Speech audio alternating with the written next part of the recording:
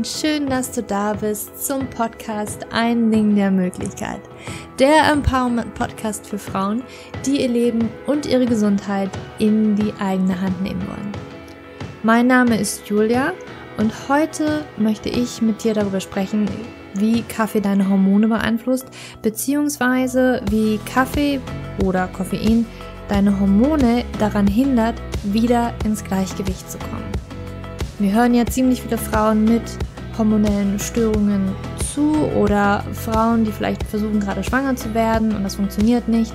Und Kaffee ist tatsächlich so eine der Komponenten, die man sich anschauen kann, weil sie unseren Körper wirklich negativ beeinflussen kann.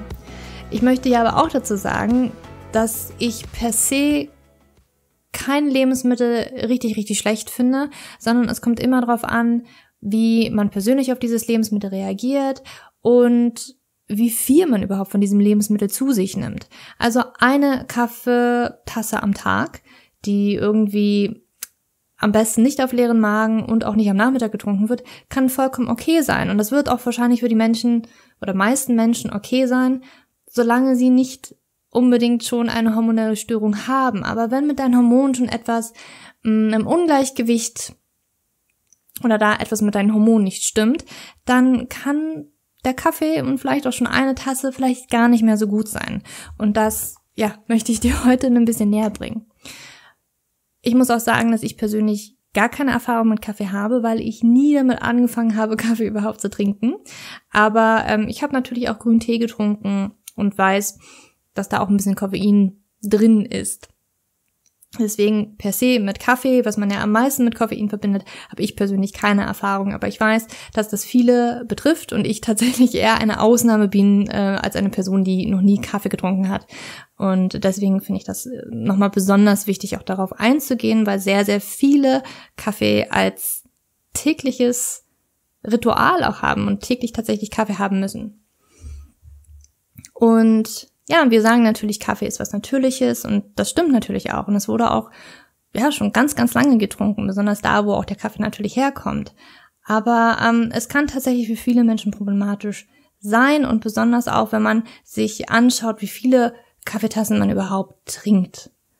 Und äh, es ist tatsächlich so, dass wenn man mehr als zwei Tassen am, Ka ähm, am Tag, mehr als zwei Tassen am Tag trinkt, dann hat das vielleicht schon gar keine positiven Auswirkungen mehr. Natürlich hat Kaffee auch andere Inhaltsstoffe und Koffein ist auch nicht unbedingt immer gleich schlecht.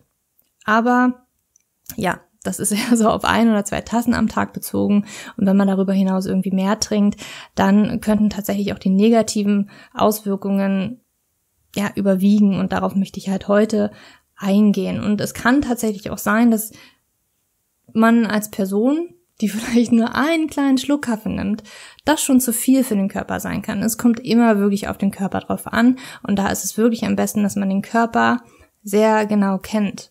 Weil es kann tatsächlich sein, dass bei manchen Personen allein schon so ein Schluck Kaffee so eine Angstattacke oder so eine Panikattacke auslösen kann. Ähm, oder auch Kopfschmerzen auslösen kann, da ist jede Person anders. Und der Grund, warum Kaffee problematisch fürs für manche oder für die meisten Körper tatsächlich auch sein kann, ist, dass es auf dieser Ebene der ähm, neuronalen Neuroendoimmunsystemebene wirkt. Also das wirkt einmal auf unser Nervensystem, auf unser Hormonsystem und dann tatsächlich auch auf unser Immunsystem. Und auf diese drei Ebenen möchte ich heute auch eingehen. Also immer wenn du Kaffee trinkst, Koffein trinkst, wirkt das auf dein Nervensystem.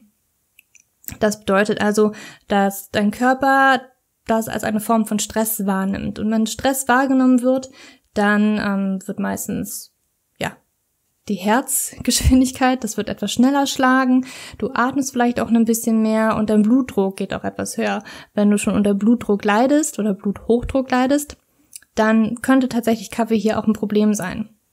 Und hier spielt das auch mit rein, warum bei manchen Menschen Kaffee tatsächlich so eine Panikattacke oder Angst auch verschlimmern kann, weil wenn der Körper da dann auf einmal drin ist, dass das Herz schneller schlägt und auch die Atmung etwas höher geht, der Blutdruck steigt, dann ist es ganz automatisch, dass so eine Person, die anfällig für solche ähm, ja, Panikattacken ist, das natürlich nochmal die Wahrscheinlichkeit höher macht, dass man da wirklich durch Kaffee, Koffein da reingelangen kann.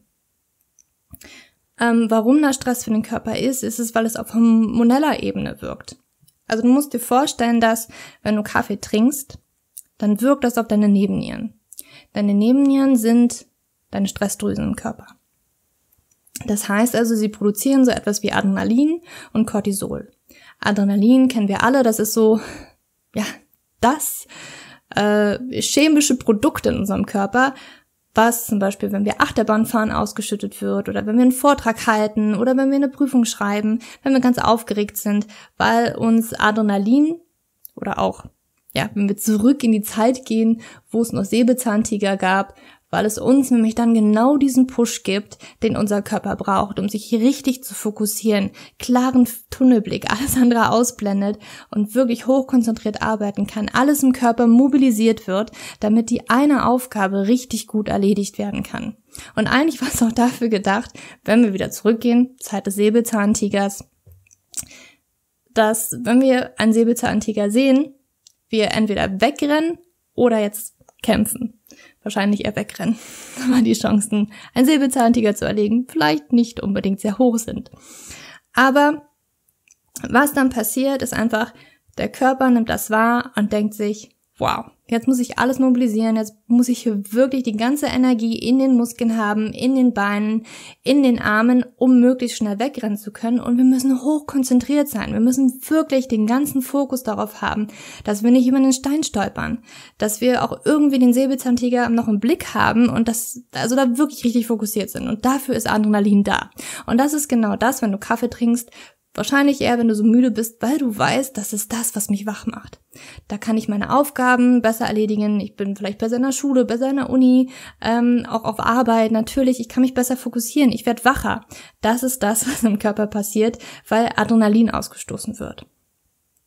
Aber auch Cortisol, das ist so ein ganz, ganz wichtiges und sehr prägnantes, ja, Stresshormon in unserem Körper. Und das haben wahrscheinlich auch schon die meisten gehört, weil das etwas ist, das ist natürlicherweise etwas höher am Morgen und geht dann runter am Abend, wenn man ja eher schlafen gehen möchte. Aber das hält uns halt auch ein bisschen wach und ähm, ist ein ganz, ganz wichtiges Hormon, was halt bei Stress auch erhöht ausgestoßen wird. Und hier kommt schon Beispiel schon viel dazu, dass es andere Hormone ganz, ganz stark beeinflusst. Vor allen Dingen nehmen wir mal an, du versuchst gerade irgendwie schwanger zu werden und das funktioniert nicht. Ähm, kann es sein, dass du einfach zu gestresst bist, zu viel Cortisol ausgestoßen wird in deinem Körper und dadurch Progesteron in deinem Körper runtergeht. Und Progesteron ist wirklich so das wichtigste oder mit das wichtigste Hormon für die Fruchtbarkeit, damit so ein Kinderwunsch Realisation wird. Ist das überhaupt ein Wort? Realität wird. ist vielleicht das bessere Wort.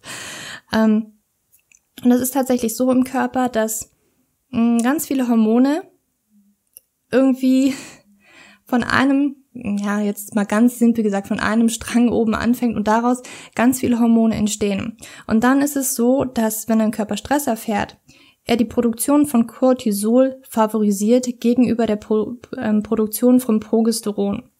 Man nennt das im Englischen auch so etwas wie den Cortisol-Stil. Ist sehr leidenhaft jetzt ausgedrückt, aber du kannst dir das so denken, dass einfach die Ressourcen von Progesteron, damit das produziert werden kann, einfach weggenommen wird, um vom Körper, um Cortisol herzustellen. Weil Cortisol wird einfach viel dringender gebraucht, wenn dein Körper wahrnimmt, es ist Stress auf irgendeine Art und Weise. Und Kaffee wirkt halt auf die Nebennieren, weil es so eine Stressreaktion auslöst und der Körper möchte dann einfach Cortisol ausschütten.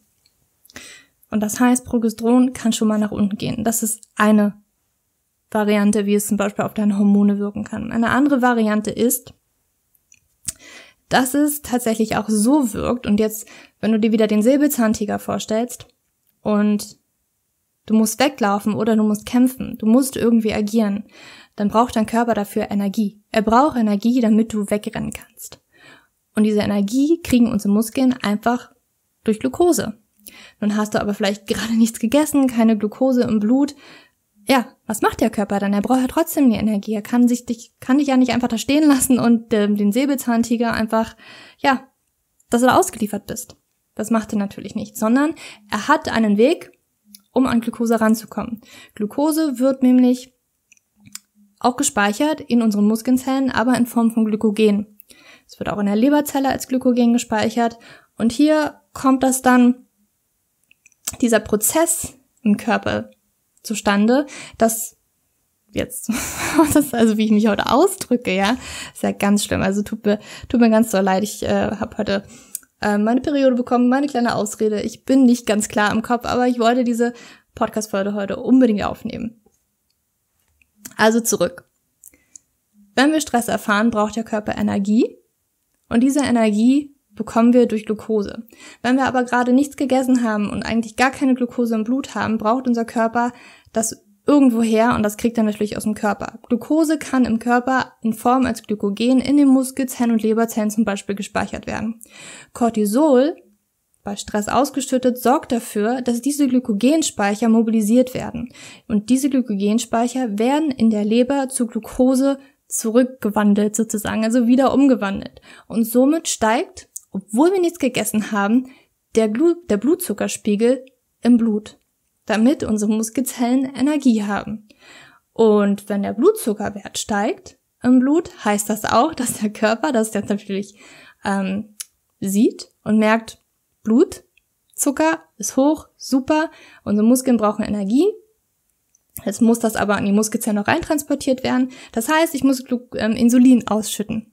Und Insulin ist der Schlüssel für die Muskelzellen, damit das Türchen aufgeschlossen wird und ja, die Glucose in die Muskelzellen reinkommt. Das heißt also, einfach nur weil du Stress hattest, Cortisol hochgegangen ist, stößt dein Körper auf einmal Blutzucker aus, weil er das umwandelt von Glykogen und Insulin wird auch in die Höhe getrieben. Und das kann zum Beispiel bei vielen schon ein Problem sein, die PCOS haben, Insulinresistenz haben, die denken, boah, ich bin jetzt Low Carb gegangen, voll gut, ich trinke aber noch Kaffee. Ja, hast du nichts gegessen, frühmorgen kein Frühstück gegessen, das erste, was du trinkst, ist dein Kaffee und dann hast du dir eigentlich schon dein Blutzucker und dein Insulinwert nämlich in die Höhe getrieben. Und trinkst du viel Kaffee und das auf Dauer, kann das tatsächlich auch in eine Insulinresistenz, ich sage jetzt mal, enden. Muss natürlich nicht so sein, dass es immer ein kann. Ähm, aber es kann natürlich das auch wiederum alles verschlimmern, wenn du irgendwie schon auf dem Weg dahin bist, ähm, eine Insulinresistenz zu entwickeln, ist Kaffee da eventuell nicht förderlich. Weil dann ist es auch wieder so, wenn du eine Insulinresistenz hast und ja, dann der Blutzucker steigt, obwohl du eigentlich nichts gegessen hast, Insulin ausgeschüttet wird, deine Zellen aber überhaupt nicht empfänglich für dieses Insulin sind und der Blutzucker nirgendwo hin kann, dann wird er wiederum in Fett eingelagert und ja, deswegen kommt auch Insulinresistenz mit einem Übergewicht häufig einher. Ich hoffe, das ist verständlich gewesen. ähm, also Stress, Blutzucker steigt, obwohl du nichts gegessen hast. Dadurch wird Insulin ausgeschüttet, damit deine Zellen das aufnehmen können. Aber ja, auf Dauer könnte das eine Insulinresistenz werden oder eine Insulinresistenz wird schlimmer. Und das kann tatsächlich auch zur Gewichtszunahme führen. Dadurch, dass du eventuell eine Insulinresistenz hast und der Zucker halt irgendwo hin muss und der wird dann in Form von Fett im Körper gespeichert. Das heißt also, einmal wirkt Kaffee tatsächlich auf den Blutzuckerspiegel Vorrangig natürlich auch erstmal über den Stress und dann auch auf Progesteron. Das heißt also, die Fruchtbarkeit kann in vielen Bereichen hier wirklich leiden bei einer Frau. Und natürlich, je nachdem, wie du gepolt bist oder wie deine Gene auch jetzt hier aktiv sind, kann es natürlich sein, dass allein schon bei deiner Stressreaktion so hoch ist, wenn du Kaffee trinkst. Das kann schon dafür sorgen, dass deine Nebennieren auch männliche Hormone ausschütten. Oder wenn du empfänglich bist, männliche Hormone durch erhöhte Insulinwerte auszuschütten, kann hier auch Kaffee wieder reinspielen. Also das, das spreche ich jetzt besonders die Frauen mit PCOS ein. Kaffee kann hier wirklich, ja, dem, dem zuspielen, dieser hormonellen Störung und dich daran hindern, aus dieser hormonellen Störung rauszukommen. Gleichzeitig ist es aber auch so, wenn zum Beispiel Insulin steigt, Insulin ist schon ein sehr entzündungsförderliches Hormon, auch wenn das im Überschuss da ist. Und dann kommt wieder das Immunsystem auch ins Spiel, dass einfach diese unterschwellige Entzündung im Körper immer zu hoch ist durch den Kaffee, den du trinkst. Und deswegen wirkt es also aufs Nervensystem, auf die Hormone und auf das Immunsystem und irgendwie alles drei zusammen, wenn dein Körper schon eine hormonelle Störung hat und auf diesen Ebenen wahrscheinlich eh schon Probleme hat, dann ist Kaffee einfach nicht förderlich für dich. Und dann solltest du gucken, dass du entweder weniger Kaffee trinkst und dich dann so langsam rausschleichst und das einfach mal für einen Zeitraum weglässt, bis deine Hormone wieder im Gleichgewicht sind. Das heißt, also ich bin hier überhaupt nicht diejenige, die sagt, Kaffee ist schlecht, das solltest du nie wieder trinken. Das ist nicht das, was ich hier sagen möchte. Aber solange du ein hormonelles Ungleichgewicht hast, kann es für dich auf jeden Fall gut sein, wenn du von diesem Kaffee erstmal runterkommst. Und später, wenn du gesund bist, kannst du den Kaffee, vielleicht so eine Tasse am Tag, am besten nicht auf leeren Magen, das heißt also nach dem Frühstück und am besten auch nicht mehr nach dem Mittag, also nach dem Mittagessen vielleicht die letzte, ähm, also nicht nach eins, nach 13 Uhr, also zwischen Frühstück und 13 Uhr eine Tasse zu trinken, kann auch gut für dich sein, weil, sagen wir auch ehrlich, natürlich erhöht Kaffee auch deine kognitive Leistungsfähigkeit. Also besonders wenn du eine Prüfung hast oder wenn du sportlich aktiv bist, kann so ein Kaffeeboost echt gut für dich sein, so ein Koffeinboost. Und natürlich kann Kaffee auch ein bisschen glücklich machen und deine Neurotransmitter wie Dopamin und Serotonin in die Höhe treiben. Aber sei dir immer bewusst und denke da vielleicht auch ein bisschen langfristig, wie sich Kaffee auf lange Zeit, wenn du mehrere Tassen am Tag trinkst, auf deinen Körper auswirkt. Und vielleicht das ein bisschen, immer wenn du vor dieser Tasse stehst, besonders am Nachmittags, im Nachmittagstief, guckst, okay, was ist mir jetzt wichtiger? Meine Gesundheit auf lange Sicht oder dass ich jetzt einfach diese Müdigkeit mit dieser Kaffeetasse, ja, dieses, dieses Verlangen danach, ist das jetzt wirklich wichtiger? Und das, das musst du dann selber entscheiden. Und das kommt natürlich auch ganz, ganz, ganz stark darauf an, wie du Kaffee selbst verstoffwechselst. Da ist wirklich auch nochmal jeder ähm, Körper anders. Es, es gibt ja viele Leute, die wissen, also wenn ich nachmittags einen Kaffee trinke, dann kann ich abends nicht mehr schlafen. Wenn du aber so jemand bist wie mein Freund, ich werde meinen Freund wahrscheinlich nie vom Kaffee abbringen, Norweger trinken tatsächlich sehr, sehr viel Kaffee, ähm, der kann nach dem Abendbrot seine Tasse Kaffee trinken, ob es jetzt gut ist oder nicht. Äh, darüber wollen wir uns jetzt mal nicht streiten aber der kann trotzdem wunderbar schlafen. Also das ist so ein Zeichen, dass er ein Typ ist, der Kaffee richtig gut und schnell verstoffwechseln kann. Und es gibt halt Leute, die können Kaffee nicht so schnell verstoffwechseln. Das kann tatsächlich in den Genen liegen, aber es kann natürlich auch noch andere Ursachen haben, wie die Leber zum Beispiel arbeitet. Und das spielt natürlich auch mit rein. Und natürlich musst du dir auch angucken, wo Kaffee wie in welchem Gehalt auch drinne ist.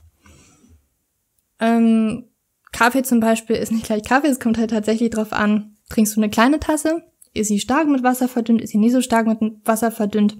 Also wenn du jetzt zum Beispiel in eine große Kaffeekette gehst, Namen wollen wir hier nicht nennen, ähm, aber dann hast man, hat man, glaube meistens nicht wirklich eine Portion da drin, sondern vielleicht auch einen doppelten Kaffee.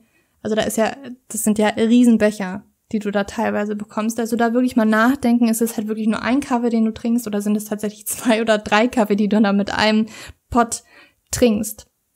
Dann guck dir auch an, was du vielleicht darüber hinaus noch trinkst. Viele denken ja auch, hm, ja, dann grüner Tee, schwarzer Tee. Natürlich haben die auch Koffein, das wissen auch die meisten. Aber da kann es durchaus auch sein, dass so eine Tasse Tee genauso viel Koffein hat wie so ein Kaffee. Ganz groß mit vorne bei ist zum Beispiel Matcha. Matcha-Tee hat unglaublich viel Koffein. Also nur mal zum Vergleich. So eine Kaffeetasse kommt immer darauf an, was für ein Kaffee das ist, wie viel Wasser da drin ist, wie, also wie stark du den sozusagen trinkst. Sagen wir mal, kann bis zu 150, um die 150 Milligramm pro Portion haben. Ähm, grüner Tee an sich hat so um die 40. Aber auch hier, es kommt immer auf die Sorte drauf an, wo ist der grüne Tee her, muss man immer gucken also um die 40 Milligramm pro Portion. Matcha allerdings, wenn du jetzt so ein Teelöffelchen nimmst, und das nimmt natürlich vielleicht die meisten, ähm, dann sind das schon 136 Milligramm Koffein äh, pro Portion. Wenn du da zwei nimmst, dann ist es natürlich doppelt so viel und dann ist das weit über 260 Koffein. Ja, wir reden hier von Koffein, Milligramm Koffein.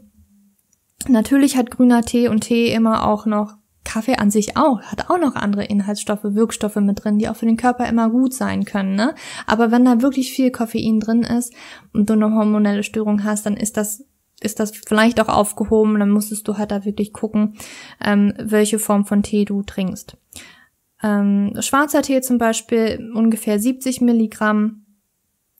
Club Mate, das war, glaube ich, vor zehn Jahren mal total trendy, das immer zu trinken, hat tatsächlich 100 Milligramm Koffein pro Portion, aber auch Kakao, ne, das musst du dir auch vor Augen halten. Kakao hat auch Koffein drin und so 100% Rohkakao, wenn wir jetzt davon ausgehen, hat 140 Milligramm Koffein pro ja, Portion. das ist jetzt hier so angegeben.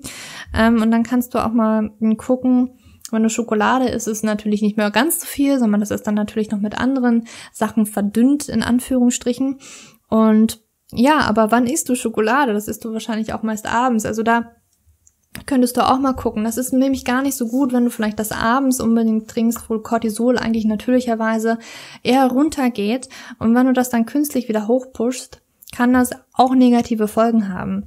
Mm, also Koffein tatsächlich in vielen Dingen drin, in unterschiedlicher Variation, also Stärke. Und schau einfach mal für dich, wie dein Körper darauf reagiert. Und eventuell probierst du es wirklich mal aus, davon runterzukommen. Und da die meisten da wirklich so Art Entzugserscheinungen haben, also Kopfschmerzen sind da vor allen Dingen zu nennen, viele leiden dann unter Kopfschmerzen, wenn sie von Kaffee runtergehen, empfehle ich auch, da wirklich dich runterzuschleichen. Das heißt also vielleicht ähm, halb halb zu machen am Anfang, ja. Ah, du fängst mit, wenn du, ich sag mal, du trinkst drei Tassen am Tag, dass du zum Beispiel die dritte Tasse, die du trinkst, am Tag ähm, zur Hälfte koffiniert und schon zur anderen Hälfte entkoffinierten Kaffee trinkst, dass du das erstmal mischst und das für eine Woche so machst und dann die Woche danach diese letzte Kaffeetasse vielleicht schon mal komplett entkoffiniert ist und dich so Stück für Stück diesem Kaffeeentzug irgendwie näher kommst, damit du nicht von 0 auf 100 gehen musst. Und das kann relativ schwierig werden, je nachdem wie lange und ja, wie abhängig dein Körper vielleicht auch schon von Kaffee ist, ähm, und dich da runterzuschleichen. Natürlich Tee kann weniger haben, ne, grüner Tee, schwarzer Tee, kannst du eventuell auch nutzen, um das runterzuschleichen. Das machen auch viele ganz gerne. Aber dir auch bewusst zu sein, dass das immer noch Koffein hat und tatsächlich ähm, je nach Sorte, je nachdem, wie lange du das auch ziehen lässt, kann mehr oder weniger Koffein in deinem Tee dann drinne sein. Und das wirklich im Kopf zu haben und das runterzuschleichen und dann vielleicht auch mal eine Zeit komplett ohne Koffein klarzukommen. Zum Beispiel bei Schokolade, weil ich mir dessen bewusst war, habe ich auch eine lange Zeit ähm, Karob benutzt. Karob ähm, ist so ein bisschen wie Kakao, ein bisschen malzigerer Geschmack, aber ich habe ganz viel damit gemacht, weil es einfach kein Koffein enthält. Und besonders auch gerne, wenn du abends auch mal eine heiße Schokolade trinken möchtest, überlege Karob zu verwenden, einfach weil es kein Koffein hat. Es kann eine super Alternative sein, ist natürlich auch Geschmackssache. Also, Kaffee an sich wirklich nicht schlecht. Eine Tasse am Tag kann super sein für den Körper, ähm, kann positive Vorteile haben, aber wenn du eine hormonelle Störung hast, kann es wirklich auch gut sein, wirklich mal komplett auf Koffein zu verzichten. Besonders dann, wenn du merkst, dass du ohne Kaffee gar nicht wach wirst oder den Nachmittag nicht überstehst, dann ist das ein Zeichen, also wenn dein Körper dann nicht von alleine diese Energie aufbringen kann und abhängig ist von Kaffee, ist es kein gutes Zeichen, sondern eher ein Zeichen, dass dein Körper da wirklich nicht im Gleichgewicht ist. Und du solltest versuchen, das ohne Kaffee wieder ins Gleichgewicht zu bringen, weil Kaffee dich daran hindern kann, deine Hormone wieder ins Gleichgewicht zu bringen, weil es auf die Nerven wirkt, weil es auf die Hormone wirkt und weil es auf das Immunsystem wirken kann. Ja? Okay, ich hoffe, ich habe den Kaffee heute nicht verdorben. Ich meine das wirklich nur gut. Ich bleib dabei, Kaffee an sich ist nicht schlecht, auch wenn ich es selbst nicht trinke. Ich verteufel kein Lebensmittel, aber überlege einfach mal, wie das für dich und deinen Körper in Frage kommt und ob es vielleicht dich sogar daran hindert, deine Hormone wieder in den Griff zu bekommen oder ins Gleichgewicht zu bringen. Ja, ich hoffe, ich konnte dir mit dieser Folge ein wenig weiterhelfen und ein bisschen Klarheit in das Thema Kaffee, Koffein und Hormone bringen. Und ja, wenn dir diese Folge gefallen hat, ähm, würde ich mich unglaublich freuen auf deine Beurteilung bei iTunes. Also geh einfach mal bei iTunes rein und gib mir gerne eine 5-Sterne-Bewertung, damit mein Podcast oder dass wir gemeinsam da auch noch viel mehr Frauen erreichen können, damit diese Nachrichten viel mehr Frauen erreichen können. Weil das ist mein großes Ziel, dass ähm, ja viele oder dass ich so viele Frauen wie möglich erreiche, ihr Leben und ihre Gesundheit in die eigene Hand zu nehmen und Selbstverantwortung zu übernehmen und sich Wissen aneignen. Weil ich möchte mein Wissen unbedingt weitergeben, weil ich glaube, Wissen ist Macht. Und mit dieses Wissen können wir so viel in unserem eigenen Leben und unserer eigenen Gesundheit erreichen. Und ja, ich würde mich freuen über deine, deine Bewertung auf iTunes. Und vielleicht hast du auch Kritik, vielleicht hast du Feedback. Bitte schreib mir das unglaublich gerne. Auch ähm, du kannst bei Instagram kannst du mich erreichen, du kannst mich auf meinem Blog erreichen oder du schickst mir einfach eine E-Mail, die packe ich dir in die Show Notes rein. Meine E-Mail-Adresse. Und ich freue mich da über alles, alles, was du mir gerne mitteilen möchtest. Und ja, Komm auch gerne auf Instagram, such den Post von heute zur heutigen Podcast-Folge und schreib mir alle gerne deine Gedanken zu dieser Folge darunter, ob du Kaffee trinkst, ob du schon mal probiert hast, ähm, Kaffee ja so ein bisschen links liegen zu lassen, wie es dir gelungen ist, ob du vielleicht Entzugserscheinungen hast. Das würde mich wahnsinnig interessieren, weil ich ja selbst gar nicht so von Kaffee sprechen kann, wie sich das so anfühlt. Ähm, ja, alle deine Gedanken würden mich wahnsinnig interessieren und ich freue mich auf dich. Und wir hören uns wieder nächste Woche. Und für dich umarmt, deine Julia.